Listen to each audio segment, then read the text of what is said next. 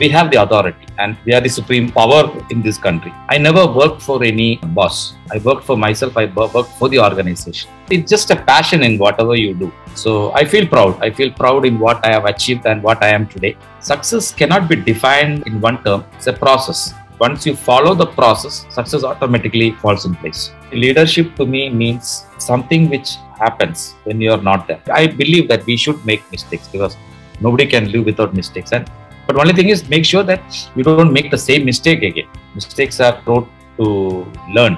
Knowledge wants to talk, but wisdom want to listen. Be a good listen. Listen properly. That will give you wisdom.